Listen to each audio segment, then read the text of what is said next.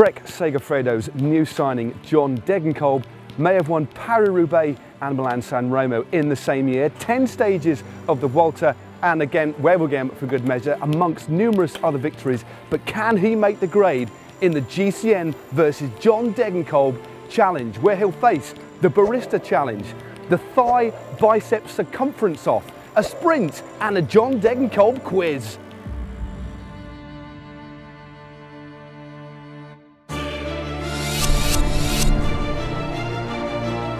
So John, thanks for agreeing to do the challenge today. I'm just, are you, are you fit? Are you ready? Are you up for the challenge?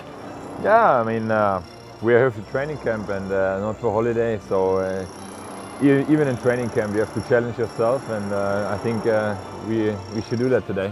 Let's do it. Let's do it.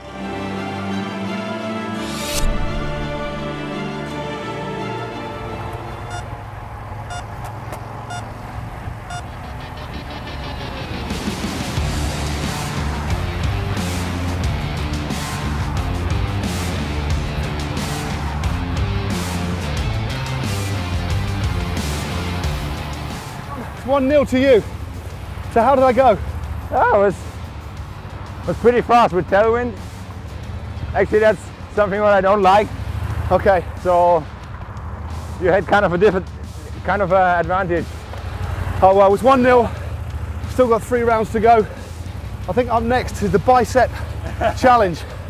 Whew, I need a rest.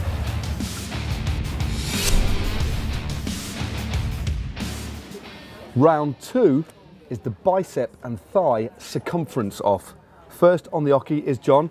We're going to measure in centimetres the diameter of your bicep. Looking pretty good. We have 35.2 centimetres. 35.2. Just going to stick that in the computer. Right, you need to measure mine. Let's get, let's get some tension in it. Yeah. Where's your tension? It's 33.5. 33.5. So I think you beat me by quite a bit there. Thighs are up next. You've stolen a small lead. I might have to stand up for this one. I'll give you, do you first. 57.3. 57.3. it's 54.2. Oh, God, he's beat me on both. I can't believe it. 54.2. I don't even need to add those two up to see that at the moment it's 2 0 to John Degenkolb. Yeah.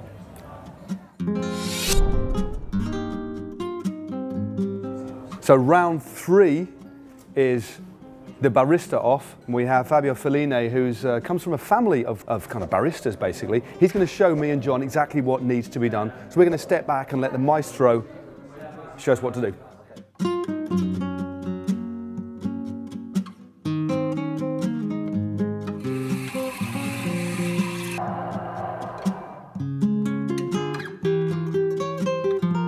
So Fabio set the bar pretty high.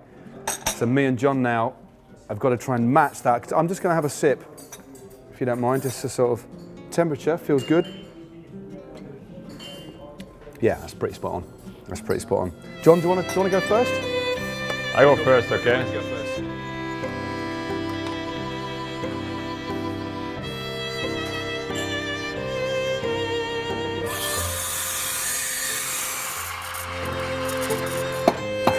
this looks pretty good. Uh, I say nothing. So what are we saying out of 10 for John's coffee or cappuccino? Ah, It's not bad, huh? No, no, no, no, no. Six. Matt Stephens on the oche.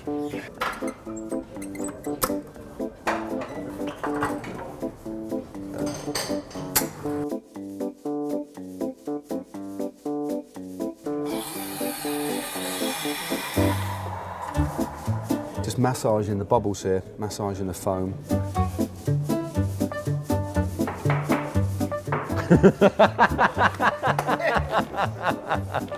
What do you reckon? This is this is a, this is round three. Ah, the valuation.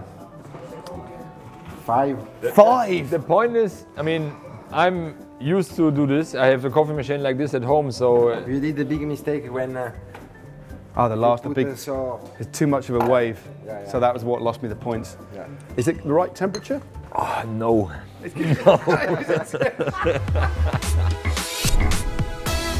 It's the John Degenkolb quiz, where I'll ask you five questions about yourself.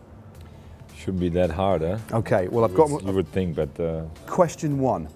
Your first Vuelta stage win was in 2012. What was the name of the town that it finished in? I have no idea. I I know some other names, uh, some other stages uh, I've won there. Um, I'm going to give you the answer. Uh, the town is called Viana. Ah, okay. Okay, so it's uh, 1 0 to Matt at the moment. um, okay, so who did you beat into second place on that stage? Allan Davis. Oh, he's got it right.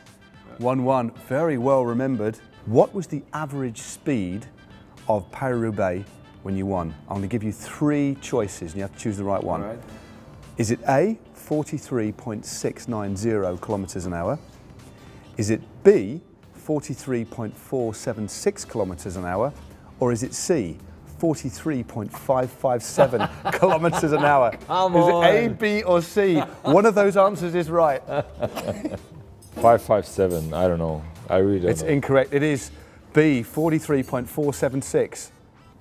2 1 to Matt at the moment. Okay, we'll move on now to question number four. In 2013, when you won Paris Tour, who did you share the podium with? For sure there was uh, Arnaud Démare on the podium. That's correct.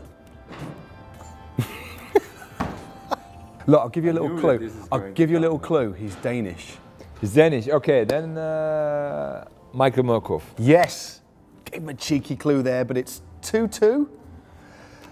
Question number five. Can you name three races from the four races that you won the points classification jersey in 2014? I won uh, the Vuelta, the green jersey. Yeah, you did. That's correct.